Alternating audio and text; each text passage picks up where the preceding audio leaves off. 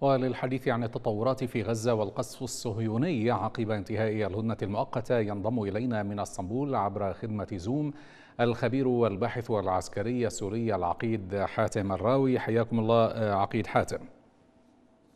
السلام لك وللسادة المشاهدين. أهلا بك. كما أرحب بضيفي عبر الهاتف من إسطنبول الكاتب والمحلل السياسي الفلسطيني الأستاذ معين نعيم. حياكم الله أستاذ معين. أهلا بكم وبضيفك سياده العقيد وبالمشاهدين الكرام.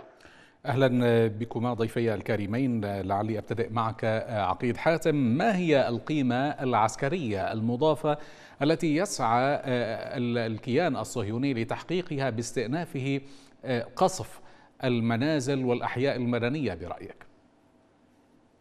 سلامي لك أستاذي الكريم وللسادة المشاهدين ولضيفك الكريم.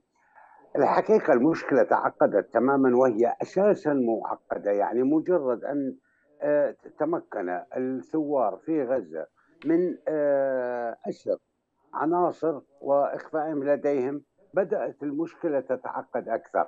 لذلك الآن إسرائيل مرة تفكر بجلب مضخات مياه عملاقة لضخها في الأنفاق وإجبار المقاتلين على الخروج أو من يبقى يموت. في الانفاق ثم تمت نصيحتهم بأنه سيموت الأسرى معهم. لذلك يعني ألغوا الفكرة. الآن هم يحاولون تقطيع المدينة. يعني الأجزاء التي وصلوا إليها هم يحاولون تقطيعها. ومع ذلك لا أجد يعني أن يعني هناك جدوى واضحة تماما إلا بالاتفاقات. يعني لا يمكن حل هذه المشكلة إلا بالتوافق وبضمانات تضمن حق الأسرى وتضمن حق المقاتلين لأنه أيضا المقاتلين يعني إذا سلموا الأسرى سيقتلون. لا أمان لا لاسرائيل ولا أمان للضامن. لذلك من هنا يعني يأتي دور المفاوضات ولا بد من تدخل جاد أمريكي سعودي قطري للتوصل نعم. عفوا إلى عقيد حاتم. ولكن يعني لاحظنا خلال أيام الحرب منذ بدء عملية طوفان الأقصى أن القصف الإسرائيلي يعني حتى لم يهتم لوجود محتجزين إسرائيليين لدى المقاومة الفلسطينية. دك هذا القصف كل مناطق في غزة بغض النظر عن وجود أسرى أم غير موجودين. فما الذي سيفرق صحيح. معهم الآن؟ صحيح. ويعني قلناها على قناتكم الكريمة بأن إسرائيل تعمل تحارب أو عسكريا تعمل بالعقيدة القتالية الغربية التي تحرص حرص تام على عنصرها العنصر البشري. ولا يمكن لإسرائيل الدخول إلى غزة إلا إما أن يعني تغضب الشارع الإسرائيلي الذي لم يتعود على حالات القتل هذه وتتخلى عن عقيدتها القتالية أو توقف القتال وتست يعني تم يعني تخفض شروطها للحل مع الثوار. أخيرا اختارت إسرائيل التخلي عن العقيدة القتالية الإسرائيلية الغربية وبالتالي لا أستبعد ابدا أن يقوموا بقتل الأسرى مع الثوار. يعني هذا أحد الاحتمالات التي لا تزال قائمة. نعم. أنتقل بالسؤال هنا للأستاذ معين نعيم. حياكم الله. أستاذ معين يعني هناك رغبة واضحة من المقاومة الفلسطينية بتمديد الهدنة كما ذكرت كما ذكرت يعني مصادر المقاومة لكن الاحتلال رفض ذلك مرارا وتكرارا رغم أن هذا العرض تضمن تبادل الأسرى وكبار السن وتسليم جثث القتلى من المحتجزين الإسرائيليين لدى المقاومة جراء بطبيعة الحال جراء القصف الاحتلال ماذا أو بماذا يمكن تفسير هذا التعنت الصهيوني دكتور معين؟ يعني بداية الاحتلال يبدو أنه أراد ان أن يستمر في تنفيذ جرائمه في قطاع غزة التي يبدو أنه استغل الهدنة للاستعداد لاستكمال سيناريو الجرائم والمذابح التي بدأها في غزة في اليوم. على الأقل ما ورد ووصل إلى مستشفيات وزارة الصحة الفلسطينية أن عدد الشهداء تجاوز ال 170 آه، جلهم من الأطفال والنساء كالعادة. الاحتلال آه، آه، يعني خلال السبعة أيام لم يكن يستعد إلا لعمل هذه المذابح بينما وهذه برز اليوم من أكثر من متحدث من من قياده حماس عندما قالوا عرضنا على الاحتلال تسليم يعني رهائن مقابل الإفراج عن أسرى بطريقة جديدة لأنه لم يبدو أنه لم يتبقى لدى حماس إلا الأسرى العسكريين وهم شروطهم تختلف عن المدنيين الذين سبقوا.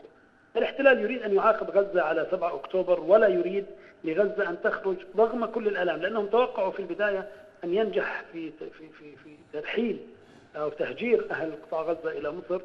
ثم آه، توقعوا أن يحدث آه، انتفاضة داخلية ضد حماس بعد الجرائم المروعة التي نفذوها و يعني وتوقع أن يحمل الناس آه، المقاومة المسؤولية عن هذه الجرائم لكنهم أيضا رفضوا وأظهروا العالم أجمع كفلسطينيين في قطاع غزة أنهم يحملون المحتل ويقفون مع المقاومة. وهذا ما رأيناه فترة تبادل الرهائن أو ان صح التعبير أو المحتجزين لدى المقاومة مقابل الأسرى في سجون الاحتلال. لذلك أنا أعتقد أن الاحتلال اليوم يريد أن يستمر في المذابح حتى ينهك ويرهق قطاع غزة وسكان قطاع غزة ويوصلهم لنقطة الشعور بالذنب أو أو إن صح التعبير الشعور بمسؤولية المقاومة عن الجرائم وليس المجرم الحقيقي. الاحتلال وهو ما نراه اليوم بشكل واضح من محاولة تدمير ما يستطيع تدميره واليوم تتفاخر وتتباهى الولايات المتحدة الأمريكية عبر بعض المنصات الإعلامية أنها أرسلت إلى الاحتلال. 100 قنبلة حديثة بزنة 200 رطل لكل واحد منهما وهي من أثقل القنابل التي تستخدم لاختراق الدروع والاماكن المحصنة. لذلك أنا أعتقد أن الاحتلال يرتكب جرائمه بنية وترتيب وقصد لارتكاب أكبر قدر من الجرائم وإلا لما رأينا هذا العدد طيب دكتور معين من إلى أي حد تؤثر لربما الأزمة الداخلية التي يعيشها أو تعيشها حكومة بنيامين نتنياهو في آه، التأثير على تمديد هذه تمديد آه، يعني آه، الهدنة وإيقاف هذا العدوان من عدمه. يعني البعض يقول أن القول الفصل ليس ل المفاوضات وما تقدمه المقاومة أو ما تعرضه واشنطن وغيرها وإنما القول الفصل هو ما تعانيه حكومة نتنياهو داخليا فهي مضطرة للذهاب إلى الحرب. هل تجد ذلك صحيحا؟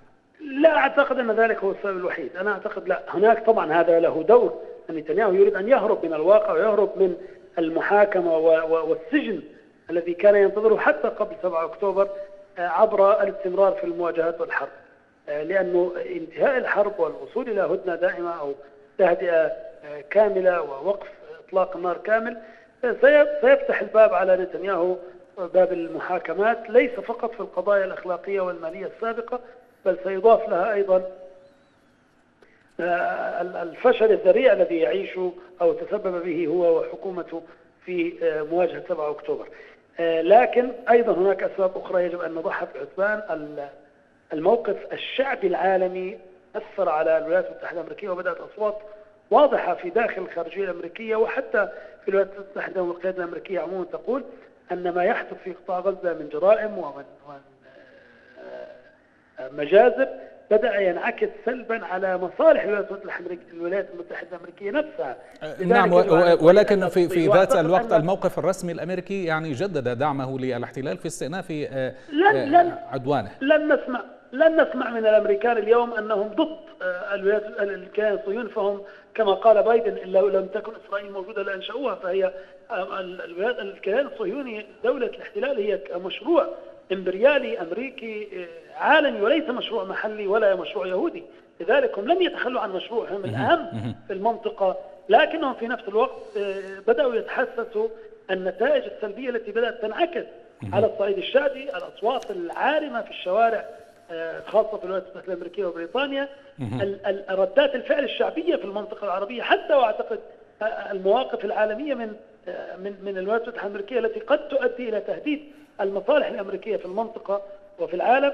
كل هذه أوراق ونقاط قوة لصالح المقاومة ضد استمرار الحرب. وهذا ما سمعناه ما ما ما, ما, ما يمكن أن يفسر التسريب الذي جاء على حول لقاء بلينكن مع وزير الدفاع وزير الحرب الصهيوني جالانت عندما قال أنه يحتاج إلى أشهر لينهي العملية العسكرية في قطاع غزة. فكان الرد كما قالت الجهات التي صدبت الخبر ان بلينكن قال له ليس لديك أشهر لذلك. واضح جدا أن الولايات المتحده الأمريكية تريد للمعركة ألا تطول.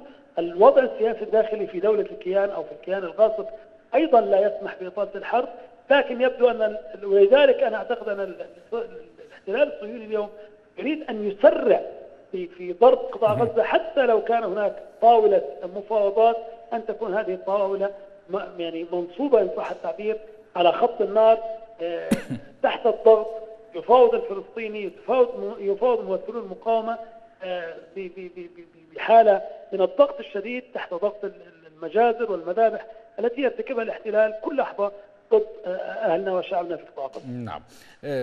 عقيد الراوي يعني لاحظنا أنه بعد انتهاء فترة الهدنة المؤقتة كما أن الكيان المحتل بدأ بقصف ودك المناطق في قطاع غزة بالقنابل وبهذا القصف المتنوع. الكتائب القسام بدورها أيضا أعادت واستأنفت قصف تل أبيب عسقلان مناطق وسط الكيان. ما هي المؤشرات العسكرية هنا التي تفهم من خلال هذا القصف من قبل كتائب القسام؟ نعم. ليس فقط القصف. اليوم ضربوا آلية تحمل جنود وجرحوا وقتلوا من فيها. يعني هذا يدل على أن المقاومة بشكل عام سواء كانت القسام أو حماس لا تزال تمتلك إمكانية الاستمرارية أكثر. الآن نحن في مرحلة عض أصابع. أقول لك يعني حاجة أستاذي الكريم. آه نتنياهو لم يعد أمامه أي خيار إلا الاستمرار كما تفضل ضيفك أو يعني اقترب من هذا المنحى. لم يعد أمامه إلا اختيار الحل العسكري حيث أنه هو أصلا مهزوز كان في الشارع الإسرائيلي وضحى بأعداد أرواح عناصر سواء كانوا مدنيين أو عسكريين لم تعتد إسرائيل أو المجتمع الإسرائيلي على خسارة مثل هذه الأعداد. وأنا يعني على تجربة عمر كامل ونحن من خلال وجودي في سلاح الطيران السوري على احتكاك مع إسرائيل. يا ما خضنا معها حروب طاحنة أو معارك أو سميها طاحنة ليسحبوا جثة عسكري. فما بالك بالتفريط بهذه بهذا العدد من القتلى لديها؟ بالقتلى وأيضا من الأسرى. يعني اعتدنا جلعاد شاليط أطلق مقابله على ما أعتقد 1500 أسير فلسطيني. فيعني فوق ال 200 محتجز إسرائيلي تم خلال طوفان الأقصى تم اقتيادهم. هذا هذا وارد. في يعني هذه حرب وحرب شرسة وحرب وصلت إلى حد تدمير غزة. يعني كلنا يعني ليس منذ فترة بعيدة وإسرائيل نعرف أنها اعتادت أن ترسل إنذار إلى بناء معين أو تجمع سكني. بأنه بعد خمس دقائق سوف نضرب البناء أو بعد عشر دقائق. من يريد أن يخرج فليخرج. يعني كي لا تستهدف إلا المطلوبين. يعني كانت تستخدم العمليات الجراحية الحربية. يعني اللجوء إلى الحرب النظيفة جدا. بينما منذ 7 أكتوبر إلى اليوم انتقلت إسرائيل إلى حالة الحرب القذرة. والحرب القذرة ستفرز إفرازات كبيرة جدا على الطرفين هذا لا بد منه. أما أنا أعود وأكرر بأن وضع نتنياهو محرج جدا أمام الشارع الإسرائيلي الذي لم يعتد على هذه الأعداد من القتلى.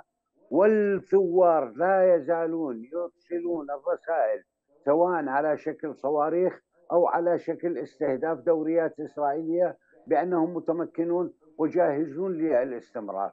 من هذا المنطلق قلت أنا أنه لم يبقى أمام الحل إلا يعني إسكات نتنياهو أو الضغط عليه وإجباره على الذهاب باتجاه هدنه طويلة والحلول عن طريق التفاوض. نعم. دكتور معين إلى أي حد يمكن التعويل على هذه الخلافات الداخلية التي تشهدها حكومة الاحتلال في إيقاف الحرب ويعني الكف عن الجرائم المرتكبة. يعني في الحقيقة كنا نتحدث عن أداء المجتمع الدولي إن سمعت لأنه بداية السؤال كانت غير واضحة حقيقة في في في الضغط على الاحتلال إن, إن هذا كان هذا السؤال. نعم. فأعت... آه فأعتقد أن أن مع الأسف المجتمع الدولي إن تكلمنا كنا نتكلم عن الأنظمة لن يتغير موقفها إلا إذا شعر بمصالح تتضرر أو شعر بضغط شعبي داخلي كبير جدا قد يؤثر على وضعه السياسي. وهذا ما رأيناه واضحا في لندن. يعني من كان يقول أنه يمكن لحراك شعبي في في في بريطانيا أن يغير وزير الداخليه رغم الادعاء بأن السبب كانت خلاف بين الرئيس ورئيس الوزراء والوزيرة نعم. لكن واضح جدا أن التحدي عندما تحدث الوزيرة الشارع الحكومة اضطرت للتنازل لصالح الشارع عبر استبدال الوزيرة الأداء الشعبي وأداء المؤسسات طيب. المجتمع المدني في الغرب ما زال قويا لكنه ليس بالمستوى الذي يشكل ويهدد مصالح المجتمع الغربي لكن إذا ما تحركت إذا ما تحركت القوى العربية وحتى الإسلامية لتهديد مصالح وأنا وأنا هنا أقول تهديد مصالح الاقتصادية على الأقل للمؤسسات الغربية أو المجتمع الغربي أو الدول الغربية فأنا أعتقد أن عندها سيكون الرد مختلف وهذا يعني يقودنا إلى إلى دور الدول في هذه طيب نعم دكتور دكتور معين يعني حقيقة كنت أيضا أسألك عن طبعا بصفتك أيضا قارئ للشأن الإسرائيلي وعالم ب امور الشأن الإسرائيلي. إلى أي مدى يمكن التعويل على انهيار حكومة الاحتلال وعلى هذه الخلافات الداخلية في حكومة الاحتلال؟ يعني نعلم بن غفير. نعم. بن غفير لديه مشاكل مع بنيامين نتنياهو. إلى أي مدى يمكن التعويل على إيقاف الحرب من خلال هذه المعطيات؟ شوف طبيعه طبيعة الحكومة الحالية طبيعة الحكومة اللي حكومه الحكومة الموسعة إن صح التعبير التي شكلت إبان أو بعيد 7 أكتوبر أعتقد أنها ليس من السهل إسقاط الحكومة أو أو انهيار الحكومة بالمفهوم الذي نراه. لكن الخطاب السائد الآن حتى في في المعارضة الإسرائيلية هناك أطراف تطالب بتشكيل حكومة بدون نتنياهو مباشرة وحتى محاكمته حتى في ظل الحرب وتقريبا محاكمة ظل الحرب. هذا الأمر قد يشكل ضغط لكن للحقيقه الولايات المتحدة الأمريكية نفسها لا ترغب بانهيار دولة أو حكومة الاحتلال. هي تؤمن وهذا ما قلت قبل في السؤال الأول أن تؤمن أن المشروع الصهيوني ومشروع الكيان الصهيوني هو مشروعها الإمبريالي في المنطقة. فلن تسمح له بالانهيار ولن تسمح له بال بال بال بأن يعيش هزيمة واضحة في المعركة. لذلك التعويل على انهيار الحكومة بشكل كامل مما يتسبب في وقف الحرب لا أعتقد أنه وارد حقيقة لطبيعة المجتمع الصهيوني ولطبيعة النظام السياسي أو نظام الحكم في في دولة الاحتلال. لكن مرة أخرى أعتقد أن إمرار الضغط السياسي الداخلي أيضا كما نرى في الفترة الأخيرة هناك تحركات شديدة جدا شعبية ضد نتنياهو وتحميل المسؤولية وتحمل المسؤولية عن كل ما جرى. والأداء للأمانة والحقيقة أداء المقاومة في في إيصال الرسائل للمجتمع الصهيوني عبر الإفراج عن المدنيين حسن تعامل الاسرى والتعامل الإنساني الراقي جدا. ايصال رسائل واضحة أن نتنياهو يقتل الاسرى والمحتجزين حتى المدنيين وما حدث مع العائلة التي خرج الزوج فيها أو الأب فيها يقول أن نتنياهو هو المسؤول عن قتل زوجته وأطفاله في من خلال القصف العشوائي لقطاع غزة. كثير من الرسائل التي وصلت كلها تحرك وتؤثر بشكل سلبي على نتنياهو والحكومة الحالية لكن الانهيار الكامل لا أعتقد أنه وارد بس لكن في نفس الوقت الضغط موجود. العوامل المشتركة كلها قد تجبر هذه الحكومة للوصول لاتفاق. وأنا حقيقة أعتقد أن ما يحدث الآن مرة أخرى هو اقتراب من النهاية. لكن الاحتلال يريد أن يجعل الثمن ثمن المعركة على الفلسطينيين مرتفع جدا باهظ جدا حتى يكفي الوعي إن صح التعبير ليعمل كي وعي للمجتمع الفلسطيني أن من يقف وليس للمجتمع الفلسطيني وحده بل لكل من يفكر أن أن أن يهاجم هذا الكيان المحتل أن البدل البديل أو الثمن سيكون باهظا حتى لا لا لا لا يقوم أو لا يتجرأ أحد على الاعتداء. وهذا ما سموه في في في في لغة اللغة العسكرية لدى دولة الاحتلال عقيدة الضاحية.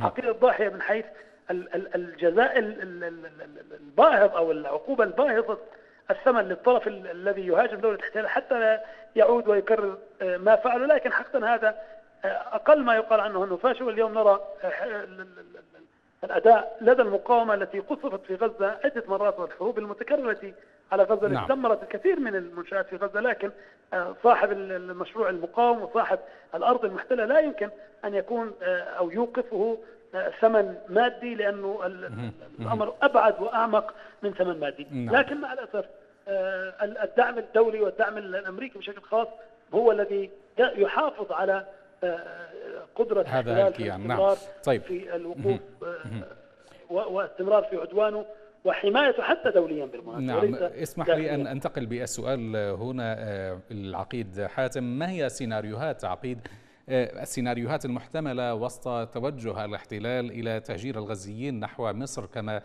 تعلم وما هو المطلوب عسكريا يعني لدعم التوجه السياسي القاضي بإجهاض هذا المشروع؟ بالنسبة لي المقاتلين المقاتلين أصلا يعني لا يمكن إيصال دعم لهم أكثر من الدعم المعنوي والدعم تحريك الشارع الذي تحرك لأول مرة أيضا هذه حالة.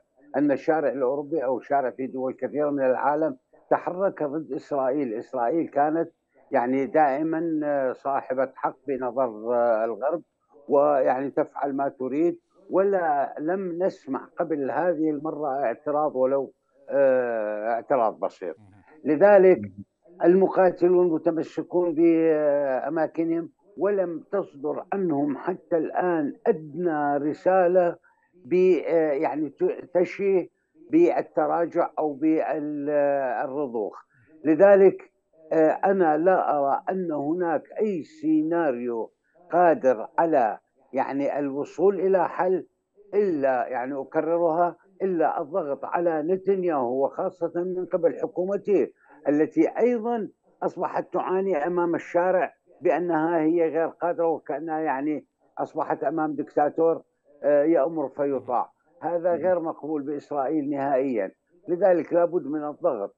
وهذا السيناريو الذي أراه أنا الضغط على نتنياهو للقبول بالجنوح إلى التفاضل إلى التفاوض لأنه يعلم تماما أنه سيحاكم بكل الحالات.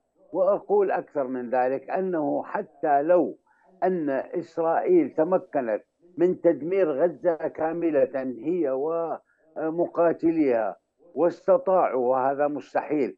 إنقاذ الأسرى الموجودين الآن ستبقى مهزومة هذه الحكومة بنظر شارعها لأنها خسرت أعداد لم تعتد عليها أشكرك جزيل الشكر ضيفي عبر خدمة زوم. كنت معي من اسطنبول الخبير والباحث العسكري العقيد حاتم الراوي. كما أشكر ضيفي من اسطنبول أيضا كان معنا عبر الهاتف الكاتب والمحلل السياسي الفلسطيني معين نعيم. شكرا لكما ضيفي الكريمين.